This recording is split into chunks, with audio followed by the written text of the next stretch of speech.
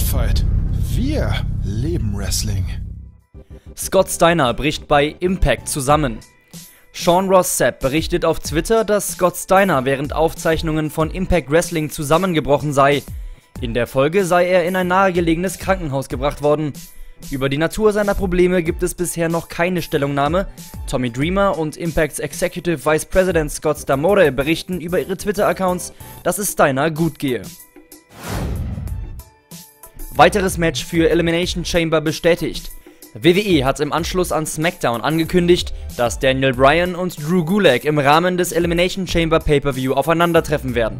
Wie Spotfight bereits berichtete, wurde die Storyline von Bryan selbst vorgeschlagen. Hardy vor Vertragsunterzeichnung. Der Wrestling Observer Newsletter berichtet, dass Matt Hardy noch keinen Vertrag bei AEW unterschrieben habe. Es werde jedoch erwartet, dass der Vertrag in Kürze zustande kommt. In einem Interview mit Sports Illustrated sagte Hardy, dass er neben AEW auch mit NXT und der NWA gesprochen habe und seine Entscheidung innerhalb der nächsten 30 Tage treffen werde.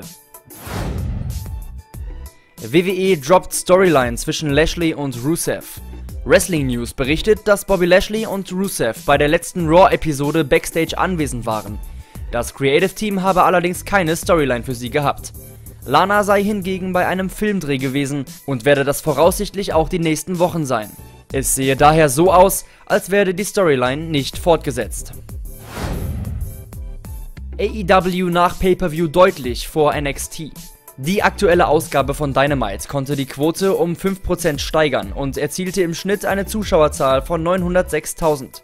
NXT sahen im Schnitt 718.000 Zuschauer. AEW konnte sogar in der Altersgruppe der über 50-Jährigen, die zuletzt nahezu immer an NXT ging, ausgleichen. Auch die werberelevante Hauptzielgruppe brachte AEW im Vergleich fast doppelt so hohe Zahlen. Damit lag Dynamite seit dem TV-Start in 18 von 23 Fällen im Quotenvergleich vor dem WWE-Konkurrenten. Alle wichtigen Entwicklungen und Ergebnisse in der Diskussion, das gibt's bei uns auf dem Spotfight Podcast Kanal. Reviews und Wrestling Talks zu Raw, SmackDown, All Elite Wrestling und vieles mehr. Klickt gern mal rüber.